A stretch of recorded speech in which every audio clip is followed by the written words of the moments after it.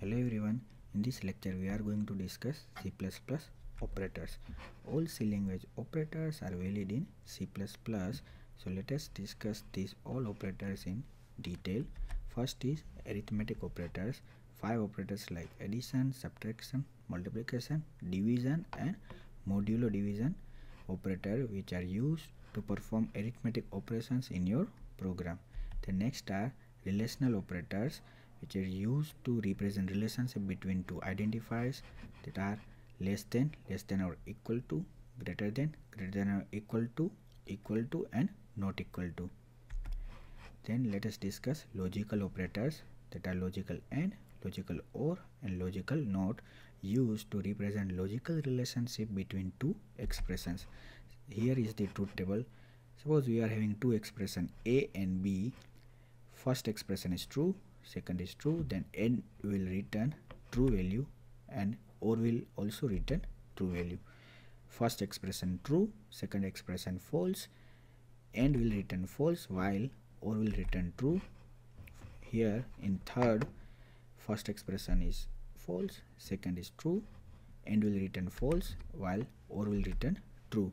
And both ex expression are false then end will return false and or also will return false.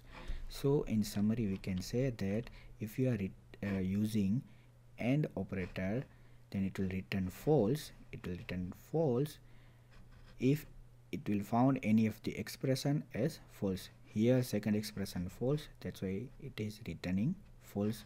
First expression false and both expression are false.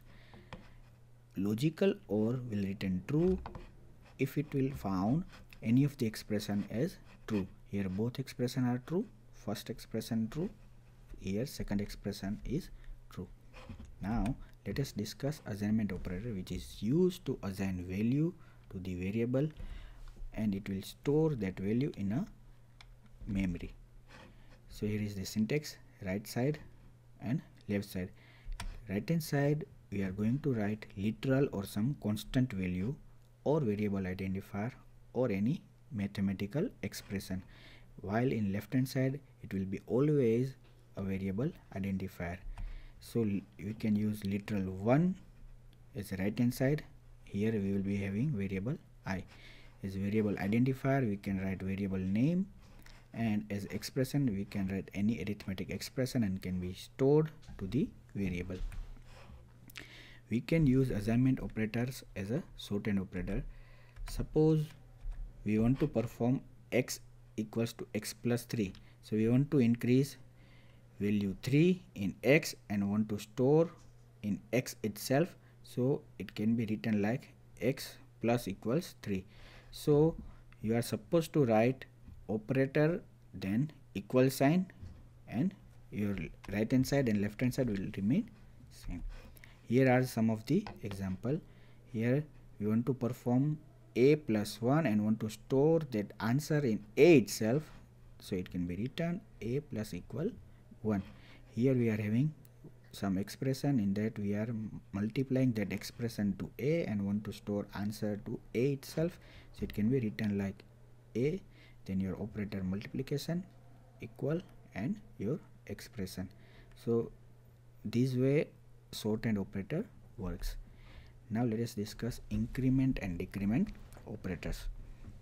Increment operator is used to increase the value of variable by 1 and decrement operator is used to decrease value of variable by 1. So if you write x equals to 100 so 100 is stored to x and if you want to perform x equals to x plus 1 so you can write increment operator rather than x equals to x plus 1 so after execution this will be 101 same way decrement operator will decrease the value by 1 so rather than writing x equals to x minus, minus 1 we are going to write x minus minus. Increment and decrement operator are further uh, classification like pre and post increment or decrement. But here we will discuss increment only same rules and same behavior will be applied applicable to pre and post decrement operator. Pre increment operator you can observe that here the operator symbol is written before the identifier. So that is the prefix. In pre-increment operator value of x is incremented before assigning it to the variable on its left. We will discuss in using example here we are having value 10 in the x. Value of x is incremented value of x is incremented before assigning it to the variable on its left.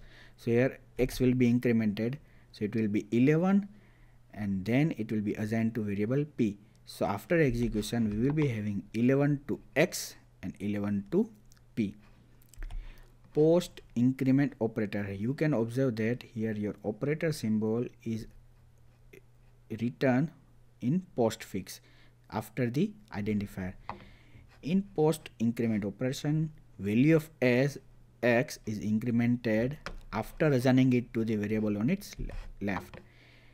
So here we'll increment x but after assigning it to the p. So first of all we will assign x to the p. So 10 will be assigned to p.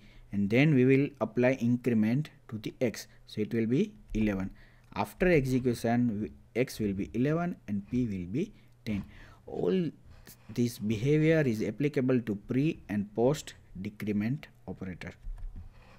Now let us discuss conditional operator. Here is the syntax.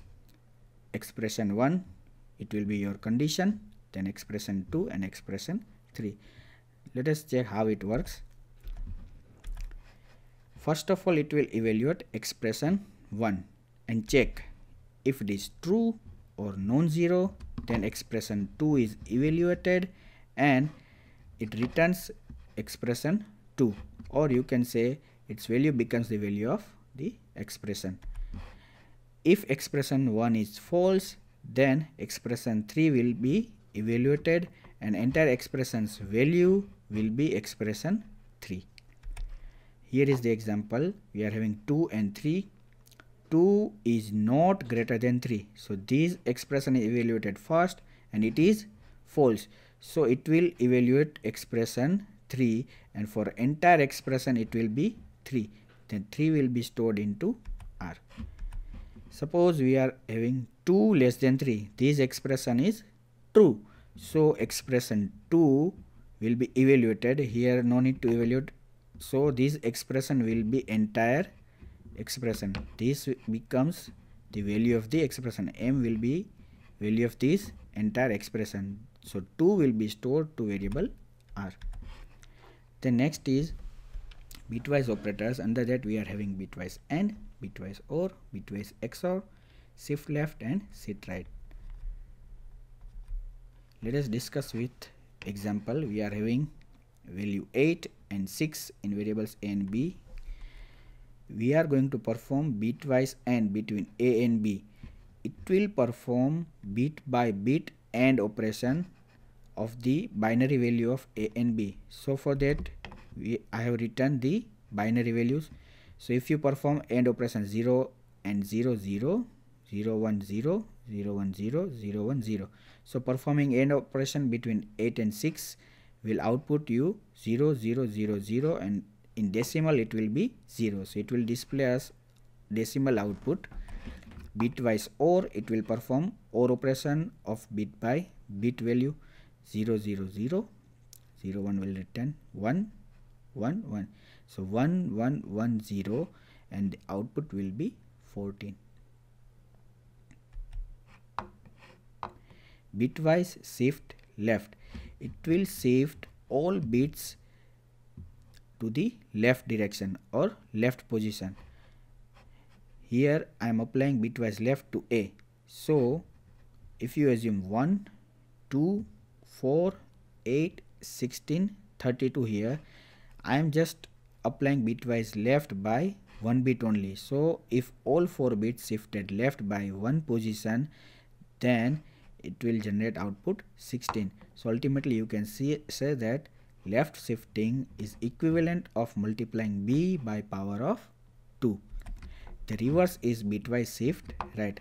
If i shift right these four bits by one position it will return output 4 so ultimately right shifting is the equivalent of dividing b by power of 2 some of the new operators are introduced in c++ that are scope resolution. It allows to access the global version of a variable. We will discuss all these operators in detail. Let us having just brief overview of the new operators. Then pointer to member declarator. It declares pointer to member of a class pointer to member operator. To it is used to access class members. While pointer to member operator this will be used to access data members of a class or to point data members of a class. New will allocate new memory in the runtime like you have used in malloc and calloc delete will delete the memory or deallocates the memory at runtime. Endl that is end line line feed operator it will add new line to be inserted. Then set w field width operator for formatted output we will use set w. It is a manipulator specifies a field width for printing value. Thank you